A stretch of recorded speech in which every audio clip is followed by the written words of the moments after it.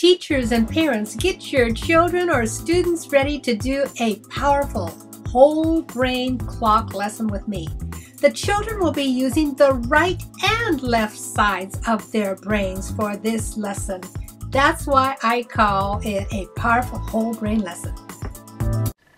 We're going to start with a nice round circle on this piece of white paper. It doesn't have to be perfect, but I don't want you to use a marker. I want you to use a pencil. So if you make a mistake, you can erase.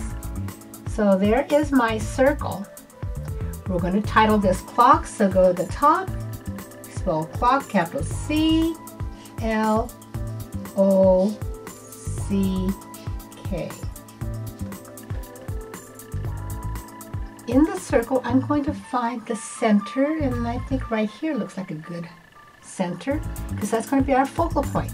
So go to the center, you're going to go straight up from that center point and make a notch up there. You're going to go back to the center point, make a notch on the bottom, go to the center point again, go to the right, make a notch, go to the center point again, and go to the left and make a notch. Now between each of those notches, we're going to put two notches equally spaced. So here's one, and here's the second one. Here's one, another one, two, and my last two. Okay.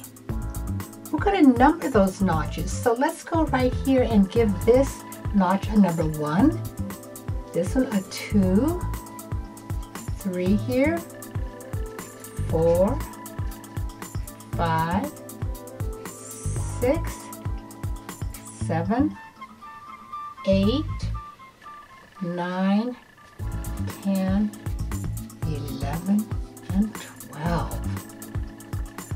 There. Now you can use a crayon or a colored pencil, but just a different color than your lip pencil or if you uh, using the black marker like I am. But like I said, I don't really want you to use the black marker because you can't erase your mistakes.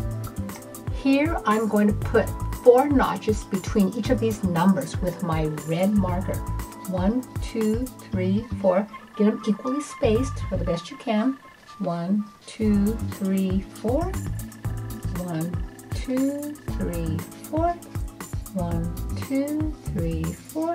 One, two, three, four. One, two, three, four. One, two, three, four. One, two, three, four. One, two, three, four. One, two, three, four. One, two, three, four. One, two, three, four. Oh, I could barely get that one. All right. Now we're going to count these notches. We should have 60 because there are 60 minutes in an hour. So here we go. We're going to start with this notch right after the 12.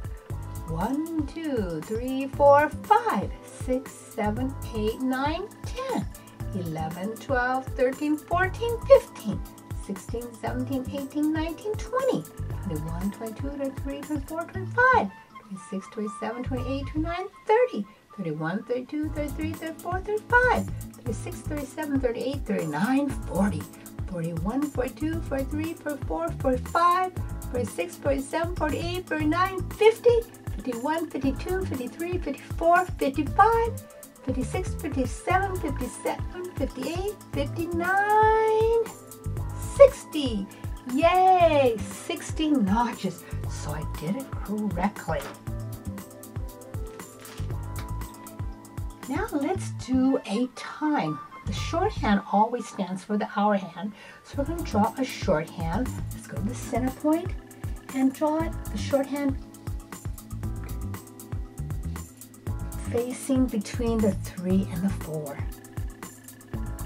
Now the long hand, which means the minute hand, we're going to make that long hand going all the way down here to the six minute hand tells how many minutes after the hour. So this is between the three to four, so it's really three o'clock and how many minutes after 3. And we can count these little notches all the way around, or we can count the numbers on the outside and count by fives 5 10 15 20 25 30 to equal so it's 330